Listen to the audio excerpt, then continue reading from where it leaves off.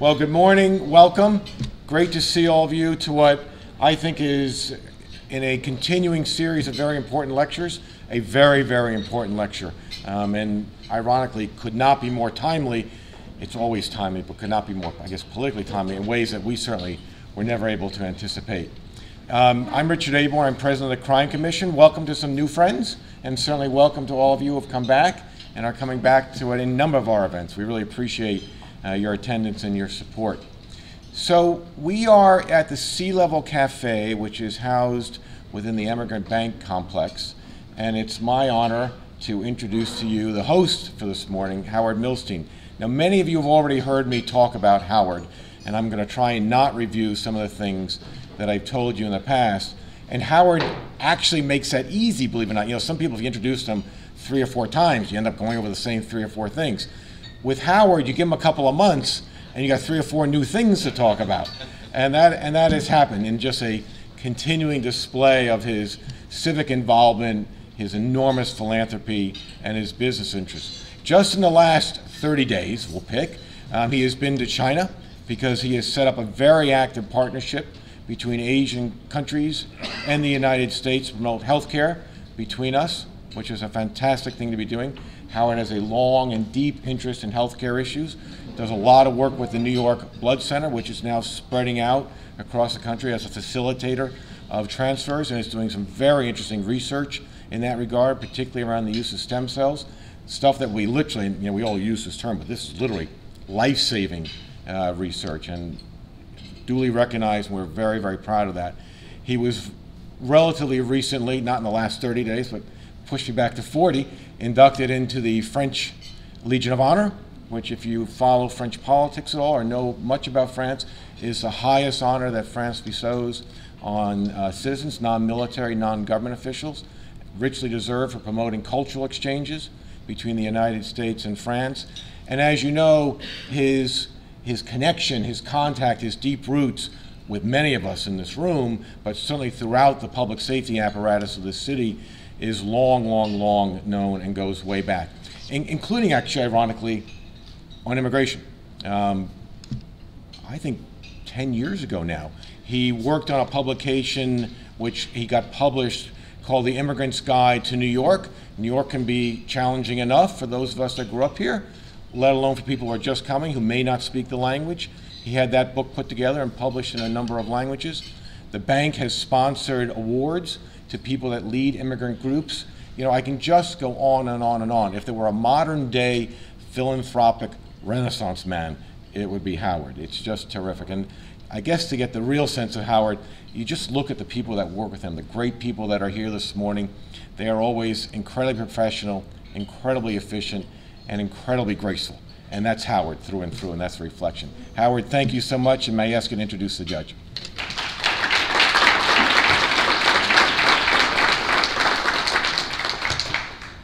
Well, it's not that easy to get me to blush, but I think you've achieved it.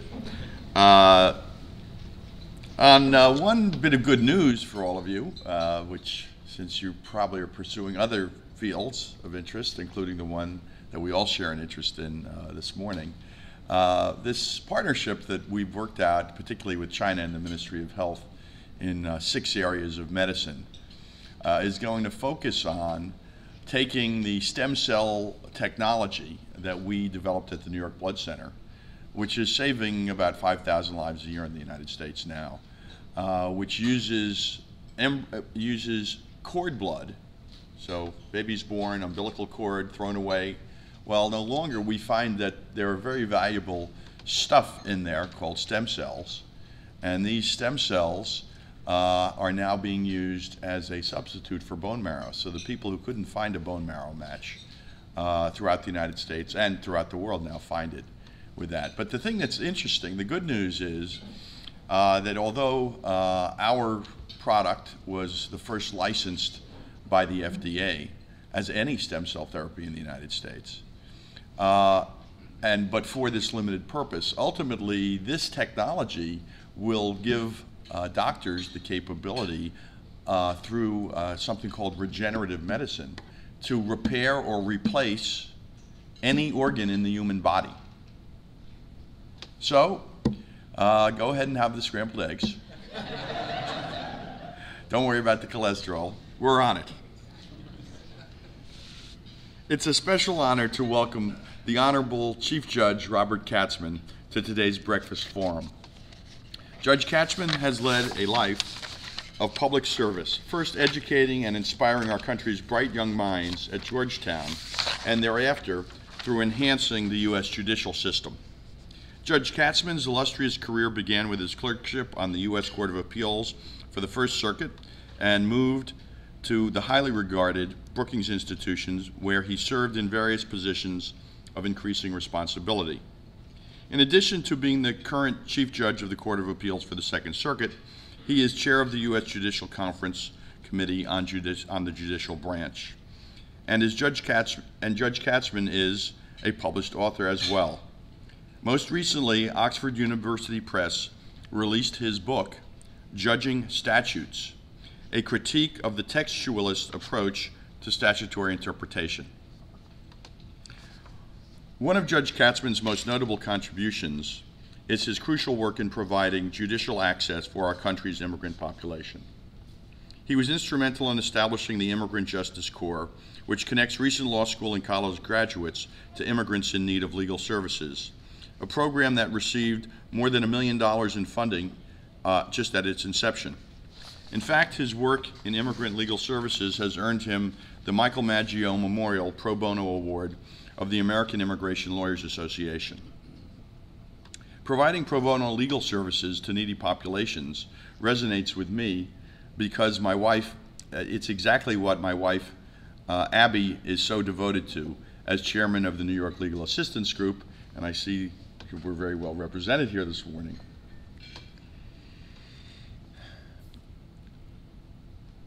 The bank we gather in this morning was founded to help immigrants. Just as Judge Katzmann has provided access to the justice system, our bank, Emigrant, was founded in 1850 to provide Irish immigrants with access to the financial system, a proud tradition that we have upheld through the generations. Immigrant access to our judicial system is an issue that is becoming ever more important as immigration reform becomes more central in our political process and public discourse. With refugee crises of unprecedented proportions and mounting instability in the world, our country remains the go to aspiration for immigrants. Judge Katzmann has been at the forefront of the issue for quite some time, and I salute his commitment. Judge Katzmann, it's a privilege to have you join us this morning.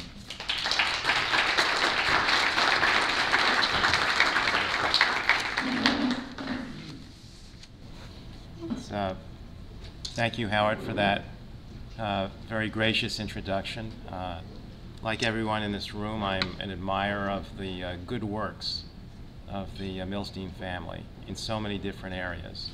And uh, in fact, it was in, the conne- in connection with immigration, with NYLAG, that we first, we first met. So, so delighted to be here. I thank Richard Aborn, most distinguished lawyer, for inviting me. It's great to see Chief. It's great to see Chief Judge Preska. Can you hear me?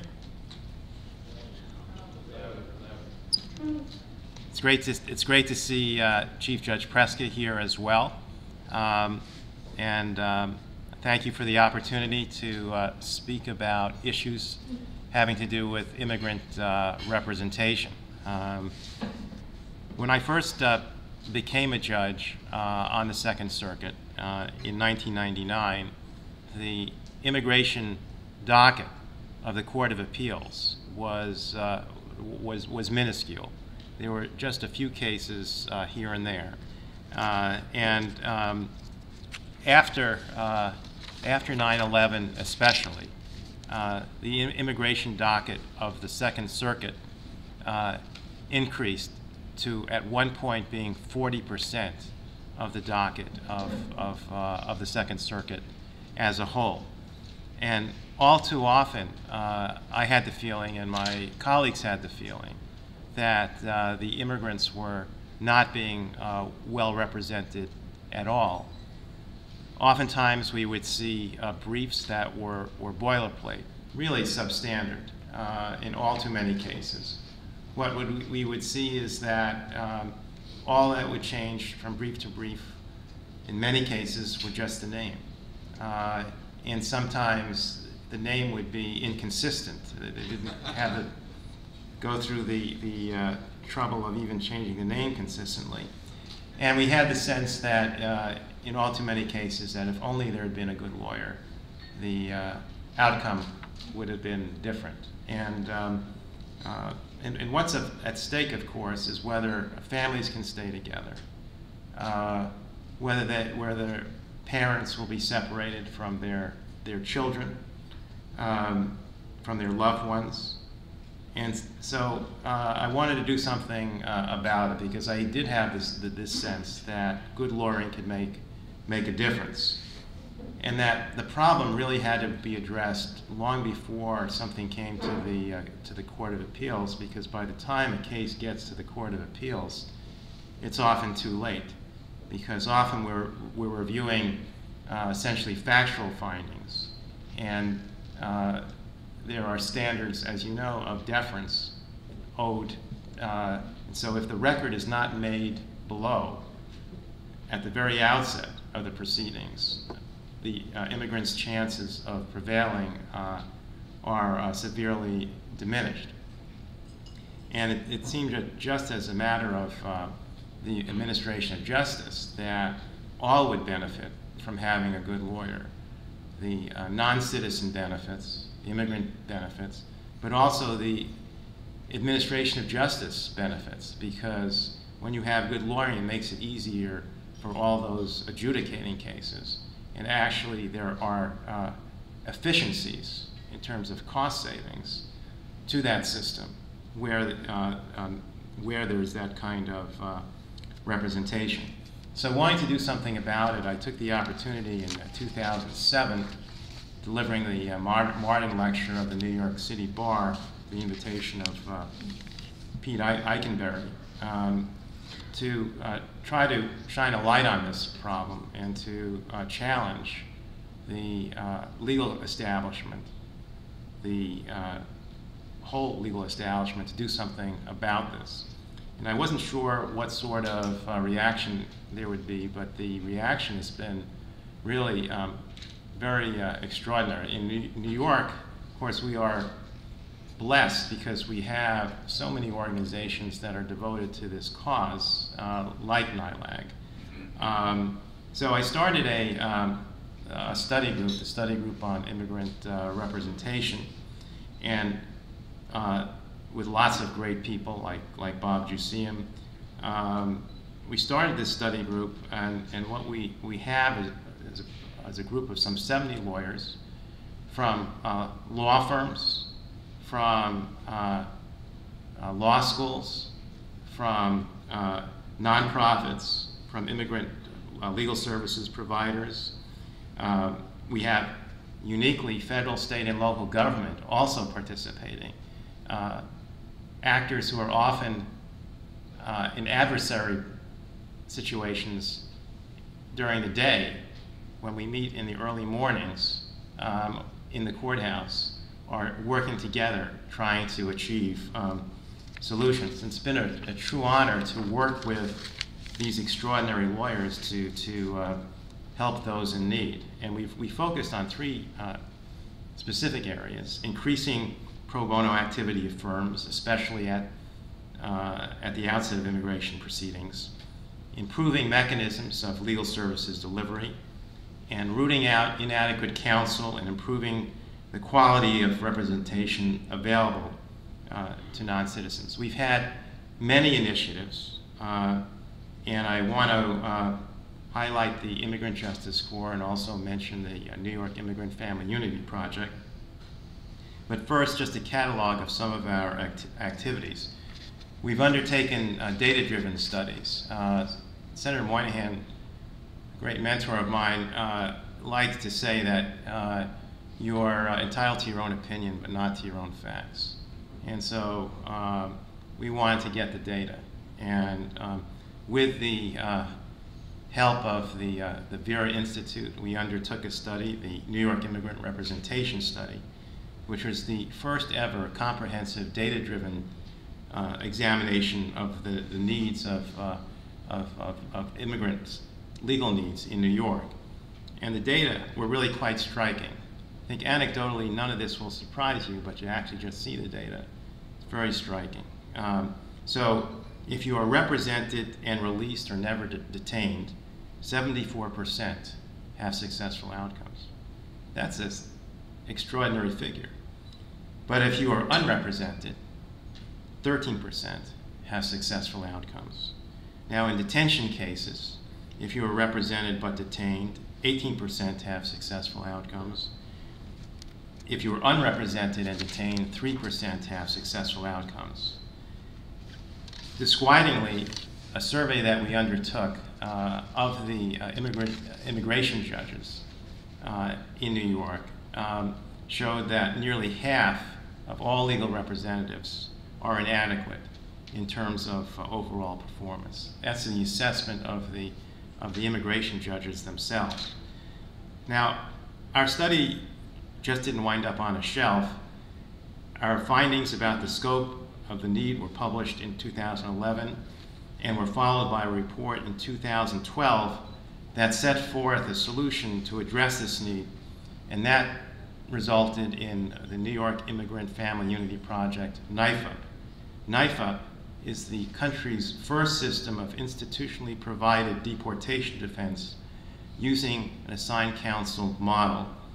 A small group of competitively selected uh, providers, the uh, Legal Aid Society, uh, Bronx Defenders, uh, Brooklyn Legal Services, uh, is, is providing counsel to those in detention. And because of the support of the uh, New York City Council, uh, every person in detention in New York City, at least for this, this coming year, will have access to legal representation. And the, uh, the judges in the system, the immigration judges, think this is really working very well. Sometimes what happens is, for example, uh, an immigrant is convinced that there is no point to uh, continuing appeals in, in, in deportation uh, in these proceedings, and the case will end sooner. Other times, because of having good lawyering, the detainee will have a, a good result for him and for his, his family. What we're talking about is, is just making sure that there is access to justice, that justice should not depend on the income level of, of, of, of, of, of, of immigrants. We've done, so that's NYFUP. Uh, we've done a lot of other kinds of, of, uh, of, of, uh, of, initiatives working with the bar. But I want to focus on the, uh, the other initiative, and that is the, the Immigrant uh, Justice Corps. This is a, an initiative that um, I had been thinking about for, for many years. The IJC was launched in January 2014 with substantial planning support and uh, initial funding from the Robin Hood Foundation. It uh, also has substantial support from the JPB Foundation and uh, some eight other uh, foundations, uh, from law firms, from bar groups. The, the IJC is the nation's first fellowship program wholly dedicated to meeting the needs for legal assistance for immigrants seeking citizenship and fighting deportation. The concept of the IJC is based on the supposition that the need for effective counsel for immigrants will only increase in the years ahead.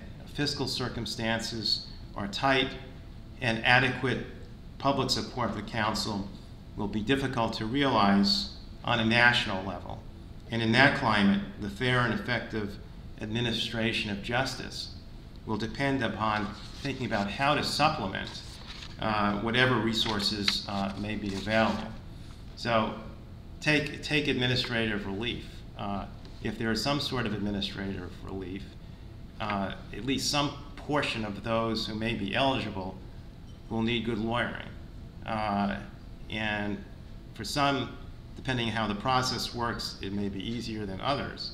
So whatever reforms we have in the future, uh, we're going to need more lawyering that is good rather than less. That whether it's comprehensive reform legislation or administrative relief, the need for good lawyering will, will only increase. And we've seen that, for example, with respect to unaccompanied children, some 4,700 unaccompanied children, uh, because of the, the, the work of, uh, of, of uh, some of the people in this room, like NYLAG, um, and law firms and other resources, uh, there is the hope that every unaccompanied children in the New York area will have, will have representation. Um, so the Immigrant Justice Corps, which is also devoting part of its uh, resources to unaccompanied children, uh, consists of, of these young lawyers, recent uh, law school uh, graduates or recently out of, of clerkships, come from throughout the country. They come to New York City. We're piloting in New York City. It's a national program, but we're piloting in, in New York City. And they work with nonprofit uh, providers. They add capacity to those nonprofit uh, providers. Uh, we have, in addition, uh, young college graduates who are serving in community-based organizations.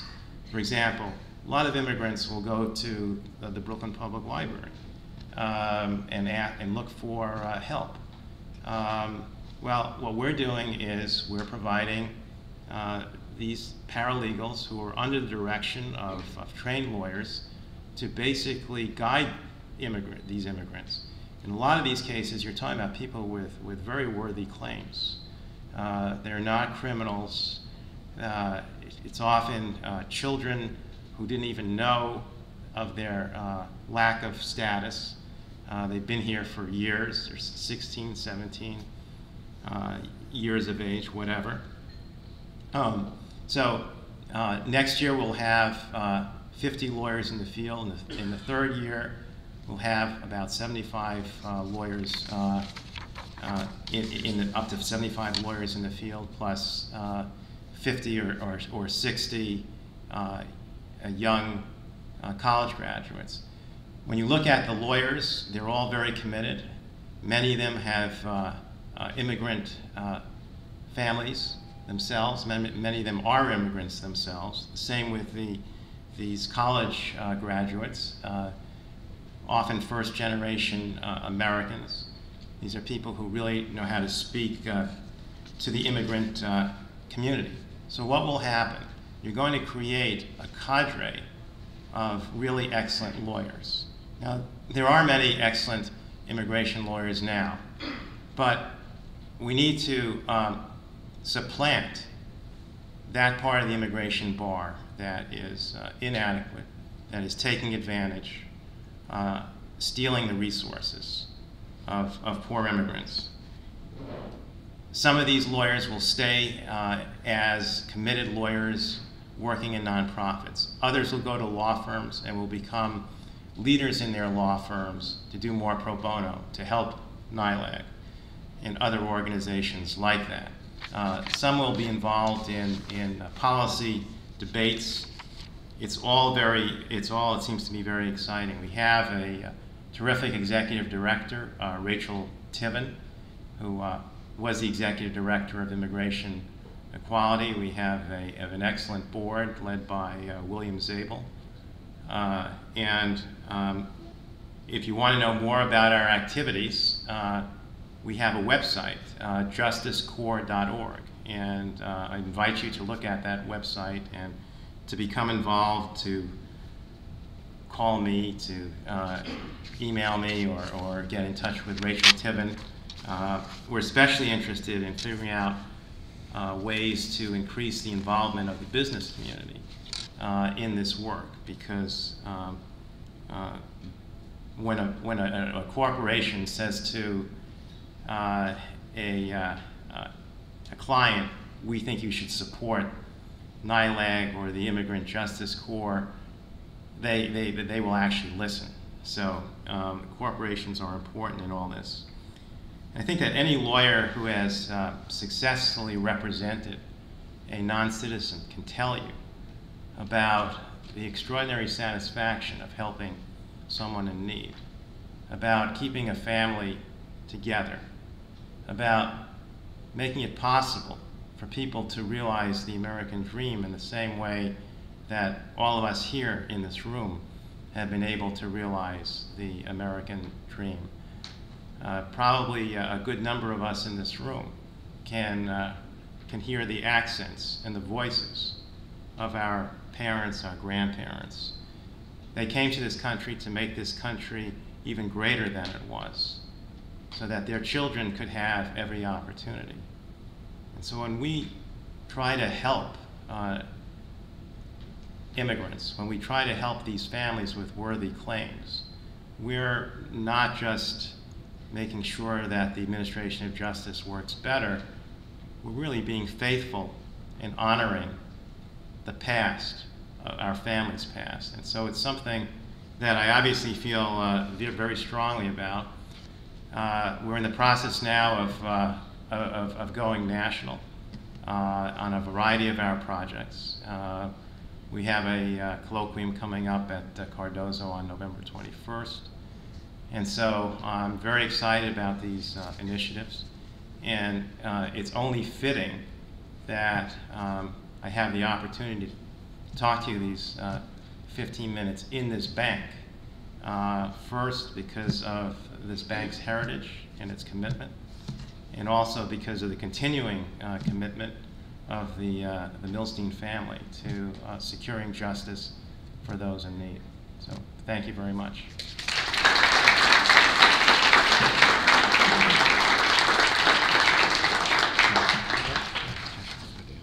Uh, His Honor will take some questions if you have, is that a hand or a camera? It's a, it's a camera. You, you just bought the bank. That was a bid. His Honor will take some questions if you have any. They tend to be shy, I'm just telling It's you okay. in advance. You know, Peter Kougasian. Come on, He's a guy who really knows how to ask a good question. That's right. Well, he actually has trick questions. And he, he asks trick questions. He's also a great magician. Yeah, that's why I said it, yeah, exactly. Um, you mentioned, uh, the tragedy of lawyers who are taking advantage of immigrants and not providing services, and sometimes I've heard even making their situation worse off than if they'd had no lawyer, because sometimes they bring them to the attention of, of immigration authorities when that's not in their interest. What can the bench and the bar and, and, and your organization do to frankly get them out of the immigration business?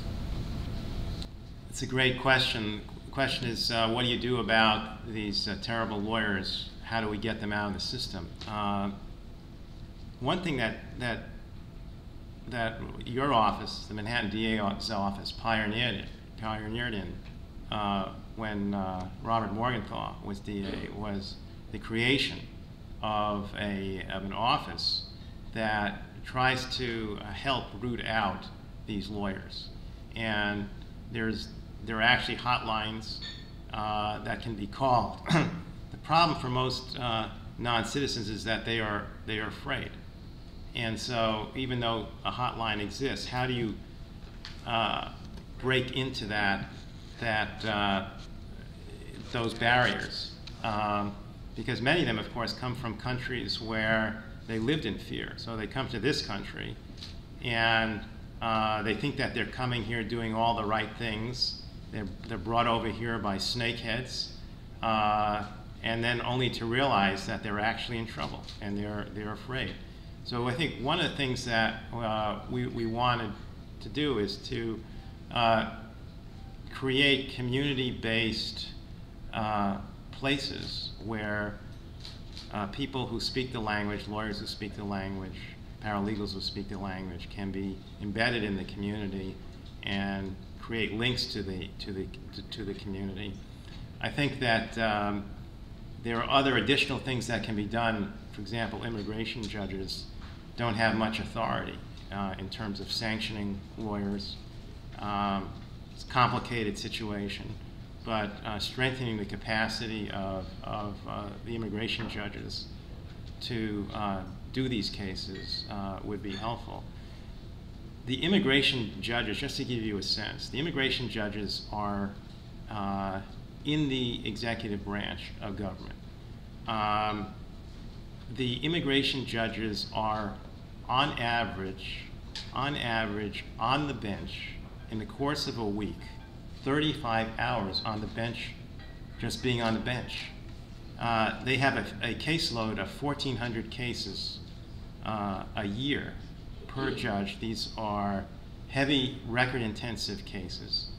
if you compare the uh, resources of an immigration judge with that of, of a, uh, a federal judge, there's just no comparison. They have to share uh, one law clerk for every three judges. It used to be six. There are often problems of translation services.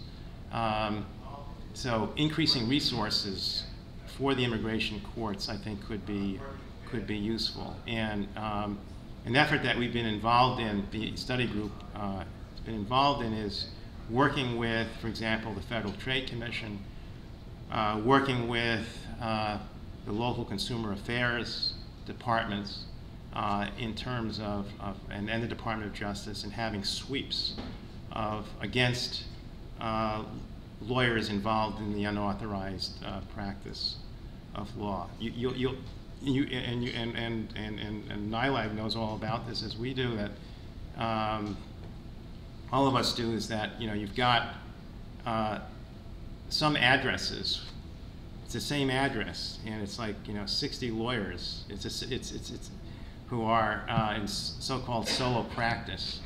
Uh, and uh, it's, it's, it's, it's the lawyers who are not doing the work who really need to be sanctioned and uh, brought to the attention of the disciplinary authorities. When you look at the um, cases that come uh, out of the federal courts involving discipline, uh, the Second Circuit, uh, a huge percentage of those cases uh, involve cases involving uh, immigration and inadequate representation. Having having a having a bad lawyer, as you say, Peter, can be worse than having no lawyer, because if you have no lawyer, and some what an immigration judge will try to do often is to, to help try to level the field. But when you have a lawyer, you know you're that's the lawyer you have, and um, if that lawyer is bad, it's it's uh, it's very unfortunate. It's tragic. Please. We're just going to speak up a little. Good morning, Judge Katzmann. Uh, Steve Choi, Executive Director of the New York Immigration Coalition. I just want to thank you. We have more than 100 immigrant serving organizations as members here in New York City, and we've seen the impact that the IJC and NYIFUP has had. Uh, so I want to thank you for all that you've done. It's, it's been amazing. Thank you for all you're doing. so my question really is about some of the equities regarding folks who are detained and folks who are not detained. This is something that's come up with some of our member agencies who have said, look, because of NYIFUP, I'm representing someone who's detained who actually doesn't have much of a case because they have several criminal convictions. And yet, we are obligated to continue representation of them. And I think one of the things that the unaccompanied minor situation has brought up is that there is a tremendous need for representation of folks who are not detained. And so has there been a conversation within NYIFUP about some of those equities there versus, uh, in terms of providing representation of folks who are detained and those who are not detained and how to make sure that we're able to really fit the community is, as you know, has been focused on, on detainees. And um, the, in, in an argument, a case that I've been making is that we have to look not just at detainees, but those with asylum claims and refugee claims, unaccompanied children claims. And so the IJC is uh, spending a lot of its time uh, on, uh, on non-detained uh, cases. And um, the uh, organizations within the study, in the study group uh, of immigrant representation that I started, um, spending a lot of time focusing on issues having to do with uh, non-detainees. Um, I think the the uh, the point really that you're you're getting at is that uh, there are a lot of people with worthy claims, and uh, we should try to make sure that they don't slip through through the cracks. And that's a point that I've made um, repeatedly. And similarly, as we're dealing with unaccompanied children, very important. Uh, issue, obviously.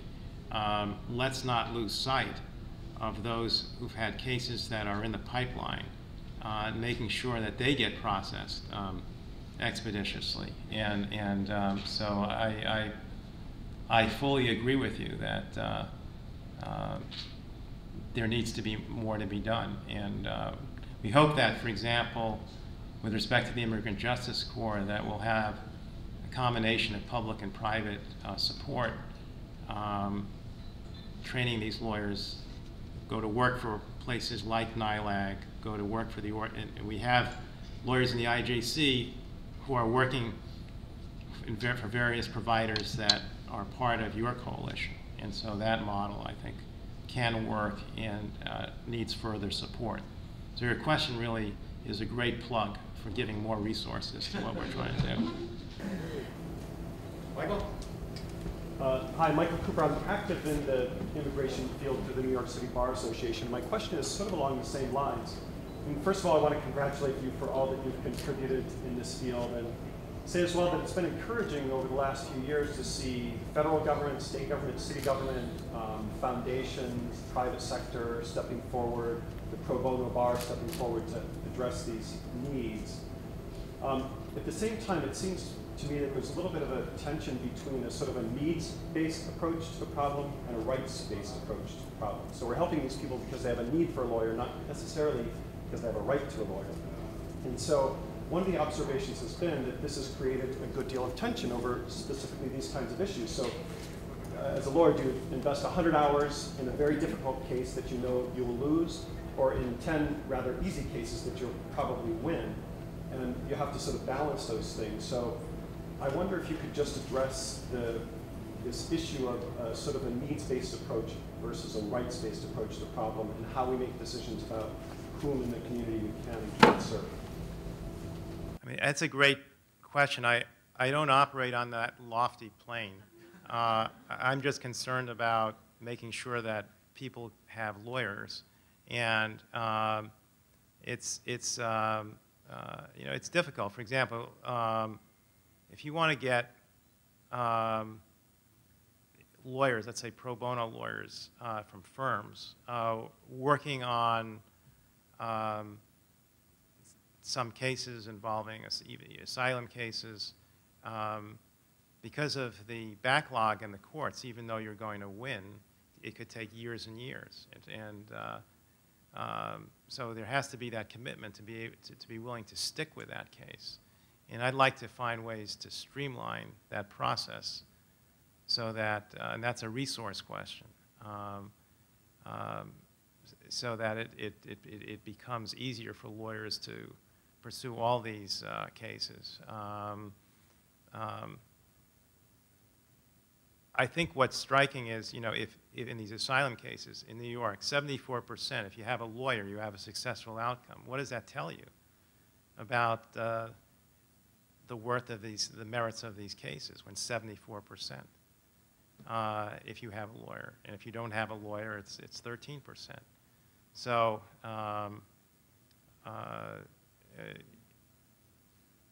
you know, lawyers have to balance how they spend their time, and it's not for me to say um, how to spend their time. I just want everyone to pitch in to do, to do his or her part. All right, Judge, thank you so much. Thank you. Thank you. Thank you. Thank you. Thank you. So I guess it's obvious that, particularly in the public safety field, nothing is more important than trying to protect those that are the most vulnerable members of our community, and particularly when it comes to kids and families. So, Judge, I heartily congratulate you and NYLAG. I know the great work you're doing around this issue. Please keep it up. Thank you all. We have our annual event on December 1st. We're honoring Howard Milstein, Commissioner Bratton, and uh, retiring Congresswoman McCarthy. I expect to see you all there. We will be taking attendance at the door, um, so check in early and often. Thank you all. We'll see you then.